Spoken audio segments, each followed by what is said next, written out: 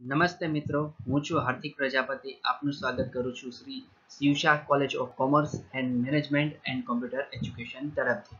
Managed by સેઇન Jain citizens education society an initiative of online teaching 2020 to 2021 ચાલ, આજનો આપણો lecture છે B Com sem three subject છે English તો કે યસ એની આન્સર તો કે બુકની સ્ટોરી નંબર વન તો એની આપણે ચર્ચા છે કરવાની છે.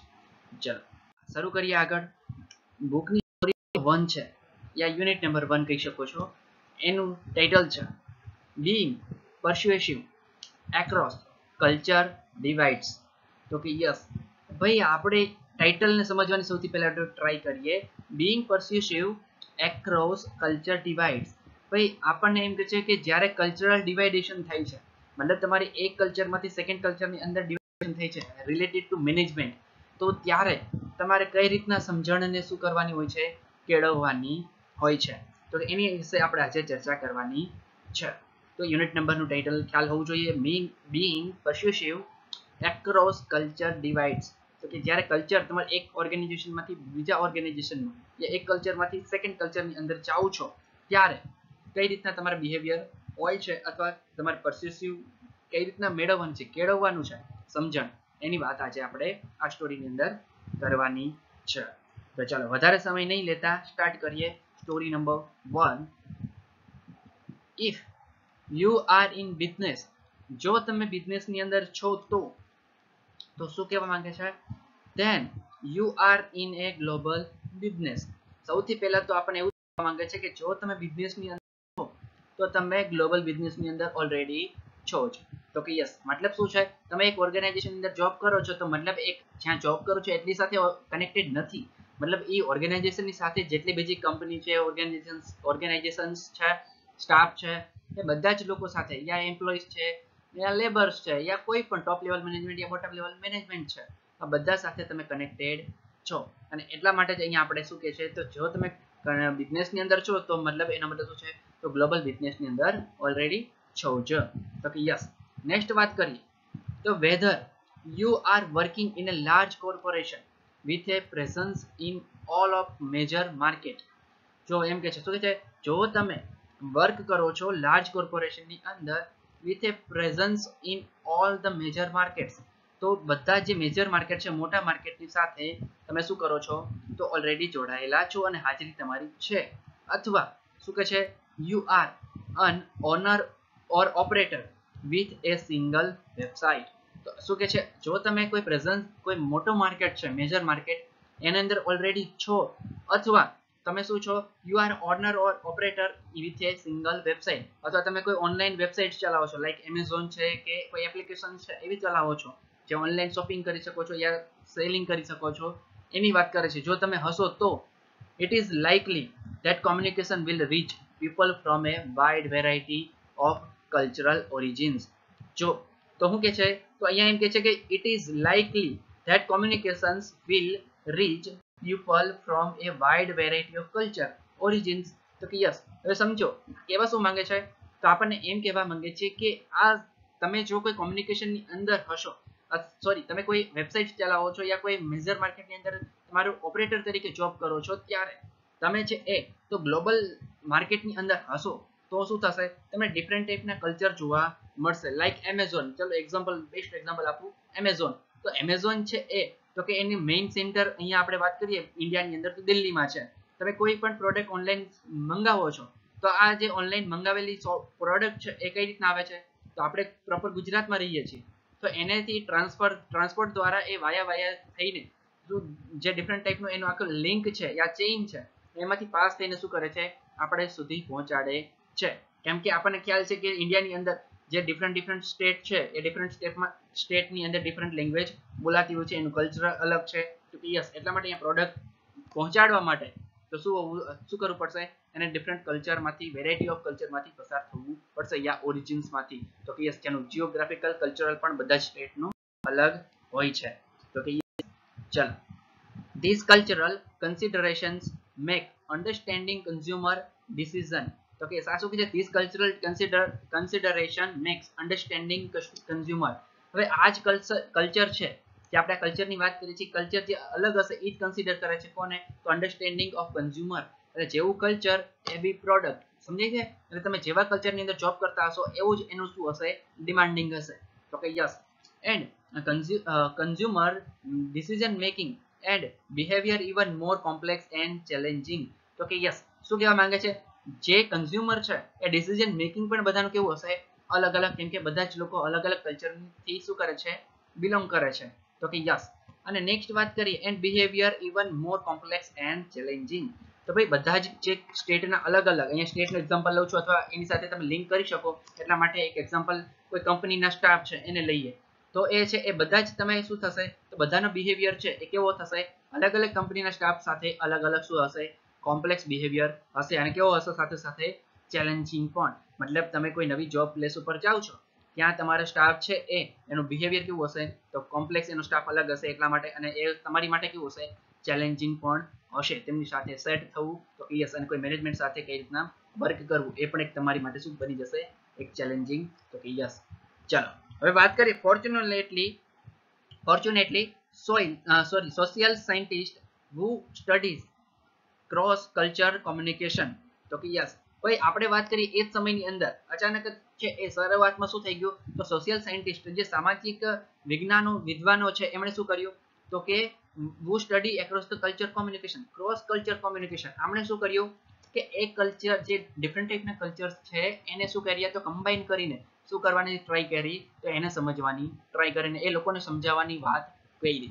તો કે yes have uncovered some helpful rules of thumb for effectively communicating જો અહીંયા આપણે એમ કહેશે, એમણે શું કર્યું? તો ભાઈ, આ જે સોશિયલ સાયન્ટિસ્ટ હતા ને, એમણે એક વસ્તુ ડિફાઇન કરી.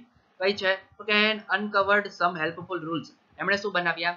એક હેલ્પફુલ રૂલ્સ બનાવ્યા. એટલે કે એક નિયમો બનાવી દીધા કે આ છે એ કોમ્યુનિકેટ જો ડિફરન્ટ ટાઈપની લેંગ્વેજ હશે, તો પ્રોબ્લેમ થશે કોમ્યુનિકેટ કરવામાં. કેમ કે કોઈ ભાઈ ફ્રેન્ચ હોય અને ઇન્ડિયન લેંગ્વેજ ના આવડતી હોય અને આપણે ઇન્ડિયન ને ફ્રેન્ચ ના આવડતી હોય તો કમ્યુનિકેશન થઈ શકે નહીં. તો એની માટે હેલ્પફુલ એક રૂલ્સ બનાવ્યા છે. એ છે રૂલ ઓફ થંબ તો આપણે જે એને લાઇક કહીએ છીએ, મતલબ લાઇકનો જે થંબ આવે છે એ ટાઈપનો ફોર ઇફેક્ટિવલી કોમ્યુનિકેટિંગ તો એનાથી શું થાય છે? ઇફેક્ટિવલી કોમ્યુનિકેટિંગ થાય છે. તમે ભાઈ ક્રિકેટ મેચ જોતા હોય યા ફૂટબોલ મેચ જોતા હોય, એની અંદર જોવો છો. તો બધા ડિફરન્ટ કલ્ચરમાંથી આવતા હોય છે. તો કે યસ બધા પ્લેયર છે એ. તો એ શું કરે છે? તો આ રોલ્સ ઓફ થંબનો ઉપયોગ કરે છે. મતલબ એ સાઇન લેંગ્વેજનો ઉપયોગ કરે છે. સાઇન લેંગ્વેજ છે, એનાથી તમે શું કરો છો? આરામથી ઇઝીલી એ વ્યક્તિ શું કહેવા માંગે છે એ સમજી જાઓ છો. તો કે યસ એટલે એટલા માટે જ આનો શું થાય છે? યુઝ તમારે ત્યાં કોઈ લેંગ્વેજની ઇમ્પોર્ટન્સ હોતી નથી. તો કે યસ એટલે કે ઇઝીલી શું કરી શકો છો? કોમ્યુનિકેશન કરી શકો છો. તો કે yes and communicating and persuading others from તો કે યસ હવે શું કે છે? તો આપણે એનાથી બીજા લોકોથી તમે શું કરી શકો છો? સારી એવી સમજણ પણ મેળવી શકો છો અને તમે સમજી પણ શકો છો. ખ્યાલ આવે છે? તો કે યસ નેક્સ્ટ આગળ તો કલ્ચર ભાઈ, આપણે અહીંયા એક એક્ઝામ્પલ લીધો છે પિક્ચર દ્વારા તમને સમજાવવાનું ટ્રાય કરું. તો ભાઈ, અહીંયા છે એ. તો કે આ સાઈડ જે પેનલ છે એ ઇન્ટરવ્યુઅરની છે. અને આ લોકો છે ઇન્ટરવ્યુ આપવા બેઠેલા છે અથવા કોઈ પોતાની ઇન્ફોર્મેશન આપવા માટે છે. હવે સમજી શકો છો કે આ કલ્ચર મતલબ આ જે કલ્ચર છે ઉપર જે ત્રણ પર્સન દેખાય છે, આ છે એ ટોપ લેવલ મેનેજમેન્ટ છે. અને આ છે એ મિડલ લેવલ મેનેજમેન્ટ જે પિરામિડની અંદર આપણે હોય છે, જે મેસ્લોનો પિરામિડ આવતો એની અંદર. તો કે આ છે એ લોકો છે, એ ત્રણ શું છે? તો કે મિડલ લેવલ મેનેજમેન્ટના પર્સન અને આ ત્રણ છે એ ટોપ લેવલ મેનેજમેન્ટના પર્સન મતલબ શું છે? તમે આ જે આ ટેબલની આ સાઈડ વયા જશો, તો આ સાઈડ છે એ શું દર્શાવે છે? ટોપ લેવલ મેનેજમેન્ટનું કલ્ચર મતલબ આની બોલવાની સ્ટાઇલ એમને જે ચાલવાની સ્ટાઇલ એમના ક્વેશ્ચન પૂછવાનું, એમનું રિસ્પોન્સિબિલિટી એમનો પાવર આ બધું છે ચેન્જીસ થઈ જશે. જ્યારે નીચેની વાત કરીએ, મતલબ આ લાઈનની અંદર, તો આ જે ત્રણ પર્સન છે, તો આ ત્રણ એમ્પ્લોઈઝ છે એ શું હશે? મિડલ લેવલ મેનેજમેન્ટ તો કે એમની લેંગ્વેજ એમની સ્ટાઇલ એમની બેસવાની સ્ટાઇલ એમનું કલ્ચર એમની લેંગ્વેજ તો એમનો પાવર આ બધું જ કેવું હશે? આ ત્રણ લોકો કરતા ડિફરન્ટ અને આ જે ચેન્જીસ છે, એને જ આપણે શું કહીએ છીએ?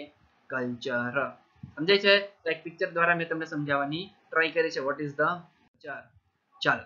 હવે આપણે વાત કરીએ અહીંયા પિક્ચર દ્વારા કે ભાઈ તમે મેનેજમેન્ટની અંદર હોવ છો ત્યારે યા કોર્પોરેટની અંદર કોર્પોરેશન કોર્પોરેટમાં તમે જોબ કરતા હોય, તો એની અંદર તમારું કલ્ચર કેવું રીતના ડિફરન્ટ હોય છે? અલગ અલગ એમ્પ્લોઈઝ માટે. તો કે યસ જો અહીંયા તમે જોઈ શકો જોઈ શકો છો કે આ એક, બે, ત્રણ, ચાર, પાંચ ટેબલ છે. આ પાંચ ટેબલની અંદર બધાના વર્ક છે, ડિવાઇડેશન હશે. તો કે આ વ્યક્તિ છે એ કોઈ બીજા પાવર માટે કામ કરતો હશે, આનું વર્ક ફંક્શન છે અલગ હશે.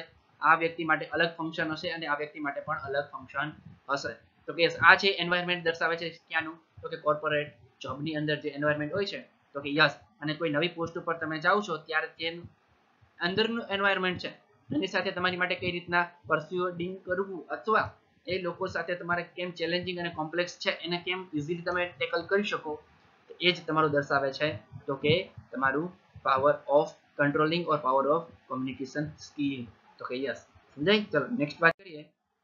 તો culturals different of our own તો કે યસ અહીંયા આપણે વાત કરીએ કે આપણે અલગ અલગ કલ્ચરમાંથી આપણે બિલોંગ કરીએ છીએ. અને બધા જ લોકો માટે અલગ અલગ શું હોય છે? કલ્ચર પોતાનું. તો કે યસ ચલો some of these models rely on broad તો કે યસ આપણે ભાઈ ઘણા બધા એવા મોડેલ છે, આપણે એવા લઈ શકીએ જે ઘણે ઘણે ખરું મોટું શું હોય છે એનું કલ્ચર અને ઘણા લોકો માટે કલ્ચર છે એ નાનું એવું હોય છે. તો કે યસ કેમ કે એનું નેટવર્ક કેવું હશે? નાનું. તો એનું કલ્ચર છે એ પણ કેવું થઈ જશે?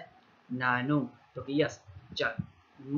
Generalizations and therefore it is important not to stereotype શું કે જનરલાઇઝેશન એ સામાન્ય રીતે આપણે જોઈએ.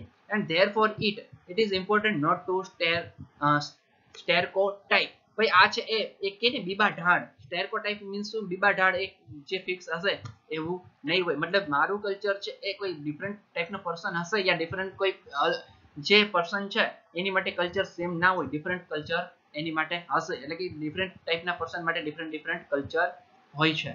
However the models can still be a valuable starting point ભાઈ આ ડિફરન્ટ ટાઈપના જે કલ્ચરના મોડેલ છે, એ શું હોય છે?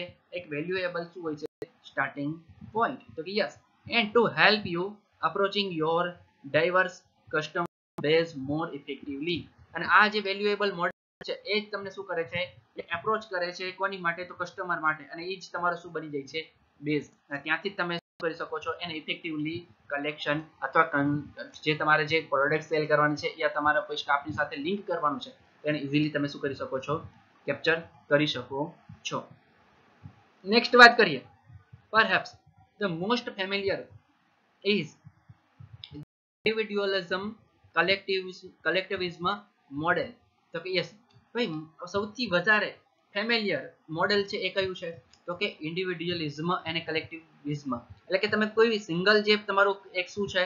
કલ્ચર અને કલેક્ટિવનેસ મતલબ બધાની સાથે તમે શું કરો છો? કોઈ પણ કલ્ચરમાંથી સારી જે છે વસ્તુ, અથવા સારી કોઈ એનું ફંક્શન છે તમે કલેક્ટ કરો છો. અને પછી શું કરો છો? આગળ વધો છો અને તમારી અંદર એને કોપી કરો છો. તો યસ આ છે એ સૌથી વધારે શું છે? ફેમિલિયર મોડેલ છે શેનું? તો કે આપણે જે ઓર્ગેનાઇઝેશનનું કલ્ચર છે એનું. તો કે યસ નેક્સ્ટ હું વાત કરું. તો ઇન પ્રાઇમરીલી ઇન્ડિવિડ્યુઅલ એ સૌથી પહેલું આપણે પ્રાઇમરીની જે ફંક્શન છે એની વાત કરીએ, તો એ છે પ્રાઇમરી ઇન્ડિવિડ્યુઅલ તો ઇન્ડિવિડ્યુઅલ તમારું જે છે એ focused culture such has the US જે ઇન્ડિવિડ્યુઅલ કલ્ચર છે એ તમને ક્યાં ક્યાં જોવા મળે છે એમ કહેવા માંગે છે. તો એ ક્યાં જોવા મળે છે આપણને? તો US Canada and United Kingdom people tend to value their independence and focusing on furthering their own personal goal. તો કે યસ, ભાઈ, જો પ્રાઇમરી ઇન્ડિવિડ્યુઅલ શું કે છે? પ્રાઇમ પ્રાઇમરીલી એટલે કે ફર્સ્ટ છે એ આપણું ઇન્ડિવિડ્યુઅલ કલ્ચર તો ઇન્ડિવિડ્યુઅલ કલ્ચર છે મોડેલ એ મોડેલ આપણને શું દર્શાવે છે?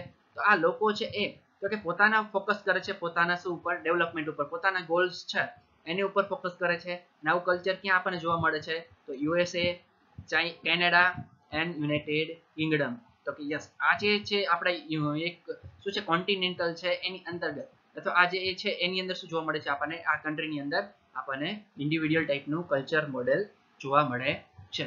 તો કે yes and by contrast individual individuals in more collective તો કે યસ અને આ છે એ. શું પડે છે? તો કોન્ટ્રાસ્ટ પડે છે. અલગ છે થોડુંક. તો કે યસ કેની કરતા કલેક્ટિવ જે મોડેલ છે, એની કરતા. તો કે યસ હવે કલેક્ટિવની વાત કરીએ. આપણું ફર્સ્ટ મોડેલ કયું હતું? તો ઇન્ડિવિડ્યુઅલ મોડેલ જે આપણું શું છે? તો કલ્ચરલ મોડેલ છે.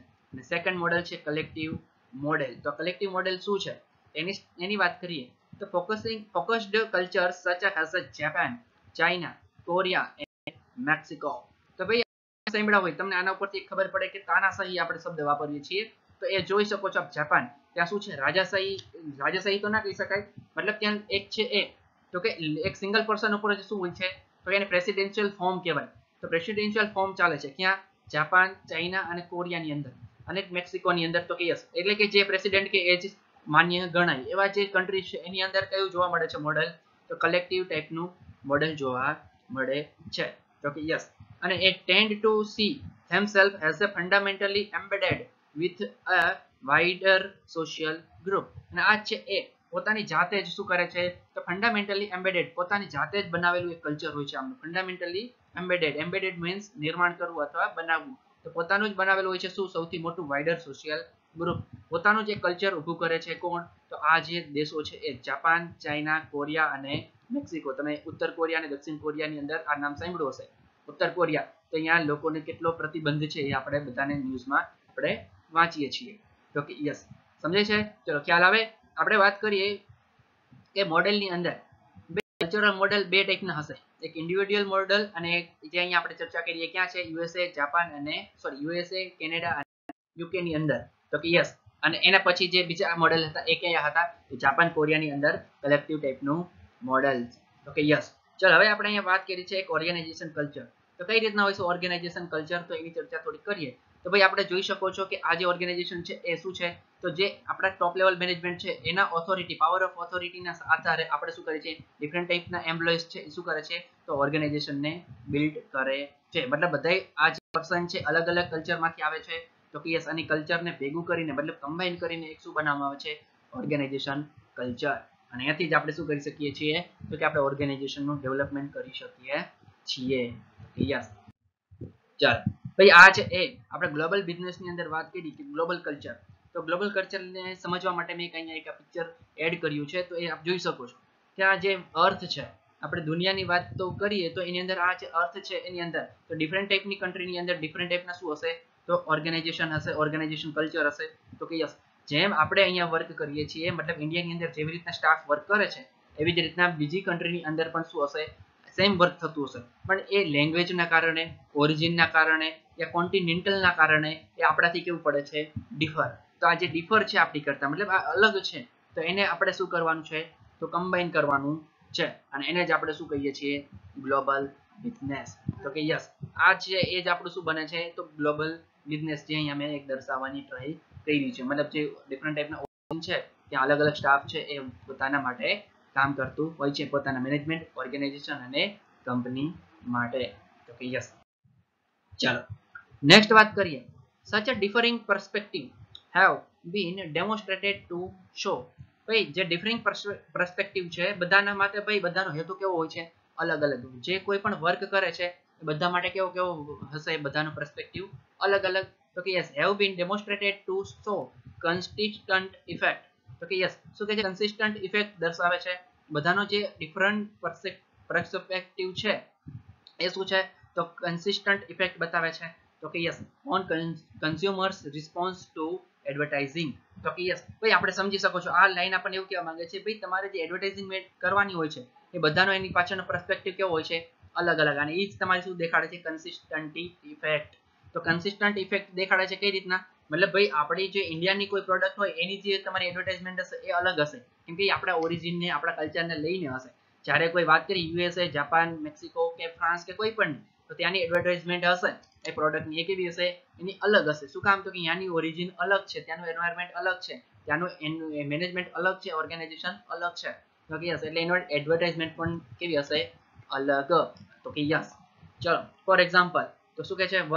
One study published in the Journal of Experiment Psychology found that an advertisement for a detergent product was consistently more appealing to audience from the individualistic societies when present as a cleanse with a softness that you will love તો કે yes ભાઈ જો આ તમને એક example આપણે અહીંયા આપ્યો છે શું કે છે the one of the study published in the Journal Experiment of Psychology found journal experiment journal of experiment psychology કરીને એક જે આવે છે, એની અંદર શું છપાણું હતું?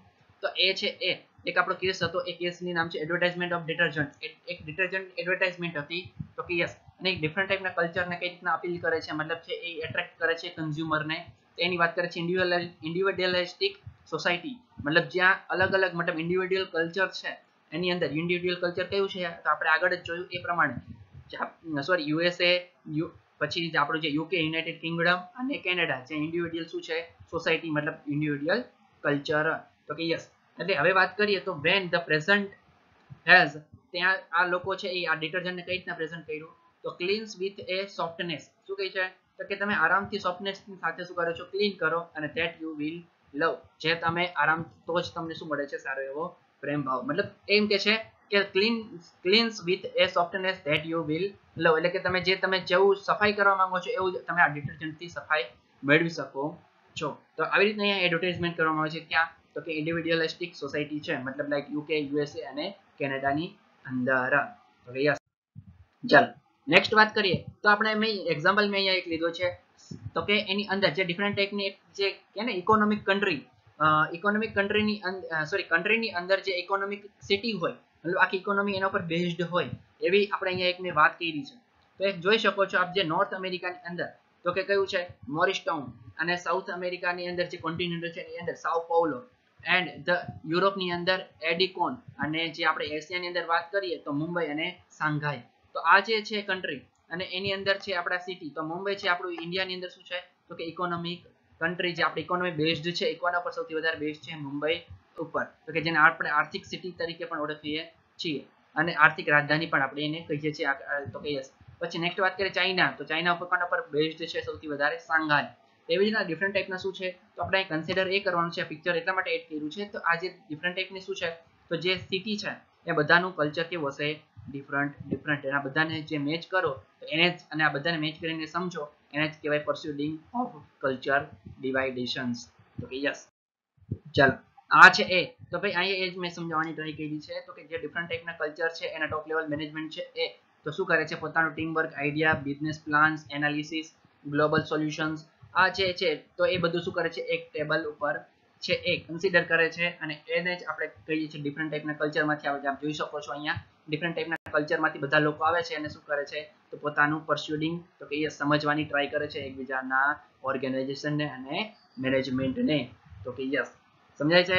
તો આજનો લેક્ચર આપણે અહીંયા આટલો રાખીએ છીએ આપણી સ્ટોરી અહીંયા રાખીએ છીએ અને નેક્સ્ટ લેક્ચરની અંદર આપણે આગળ કન્ટિન્યુ કરીશું. Thank you very much